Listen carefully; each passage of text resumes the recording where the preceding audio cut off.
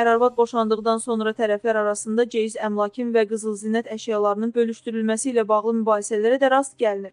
Bu yazımızda qeyd olunan məsələyə aydınlıq gətirməyə çalışacağıq. Qanunvericilikdə bu məsələ necə tənzimlənir? Nikah müddətində ər-arvadın əldə etdikləri əmlak onların ümumi birgə mülkiyyəti sayılır.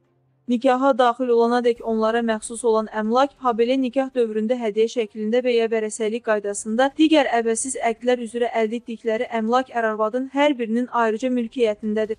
Bəs ceyiz qeyd edilən mülkiyyət formalarından hansına aiddir? Ceyiz qızın ailəsi tərəfindən gəlinə verilmiş hədiyyə olduğu üçün onun şəxsi əmlakına aid edilir. Yəni ceyiz tərəflərin birgə mülkiyyəti hesab edilmir. Boşanmadan sonra və ya rəsmi qaydada boşanma olmadan da qadın ona məxsus olan ceyiz əmlakını tələb edə bilər. Oğlan evi tərəfindən ceyiz qıza könüllü şəkildə verilməlidir.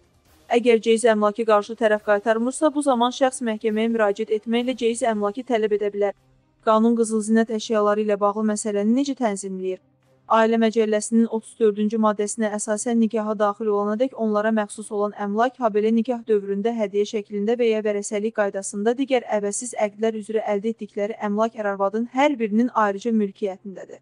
Zinət əşyaları istisna olmaqla fərdi istifadə şeyləri nikah zamanı ər-arvadın ümumi vəsait hesabına əldə edilsə də, ər-arvaddan kimin istifadəsində olubsa ona məxsusdur. Qanunvericiliyə görə hədiyyə şəklində verilən əşyalar kimə verilibsə, artıq onun əmlakı hesab edilir.